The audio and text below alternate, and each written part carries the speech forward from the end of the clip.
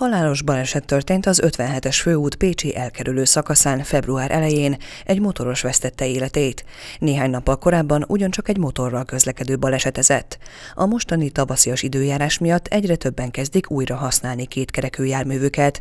Ez azonban veszélyeket rejthet magában, mint ahogyan azt ezek az esetek is jól mutatják. Az autós lassítani kezdett a sávban, mert ki akart engedni egy másik autóst, aki a kisoroló sávban várakozott, azonban pár másodperc múlva egy motoros motoros hátról nekiütközött a lassító járműnek. A motort vezető férfi a balesetben olyan súlyos sérüléseket szenvedett, hogy a helyszínen életét vesztette. A rendőrség a baleset körülményeit szakértő bevonásával vizsgálja. A szakemberek azt javasolják, hogy tavaszig ne is üljenek motorra azok, akik ezt a közlekedési módot kedvelik. Ebben a téli időszakban, illetve őszi, tavaszi időszakban annyira nagy különbség van az aszfalt és a levegő hőmérséklete között, hogy hiába érezzük ma is mondjuk egy jó tavaszi napnak ez 17 fokkal, akár napon 18 fokkal, az aszfalt annyira hideg, hogy semmilyen tapadás nincs a motoron.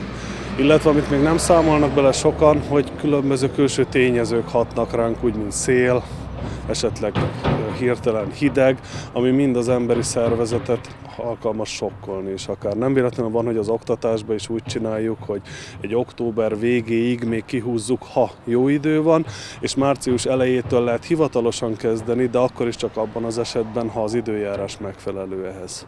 Különben túlságosan balesetveszélyes is lesz, illetve hát kényelmetlen. Tehát az a teljes igazság, hogy aki ilyen időben motorra ül, az saját magának is kényelmetlenséget okoz, mert nyilván fázunk, illetve veszélynek vagyunk kitéve. A legjobb megoldás az lenne, ha addig várnának a motortulajdonosok, amíg az aszfalt hőmérséklete el nem éri tartósan a 10 Celsius fokot.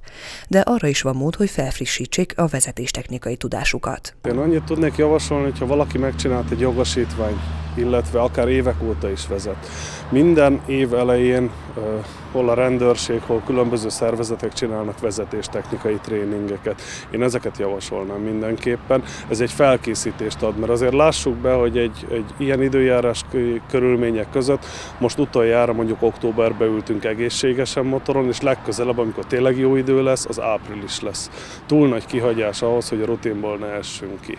Tehát ez tud minket segíteni, illetve a szokásos az előrelátás és a megfelelő körültekintések egy motoron. Emellett a megfelelő körültekintés és a kressz szabályainak a betartása is ugyanúgy vonatkozik a motort használókra, mint a forgalom többi tagjára.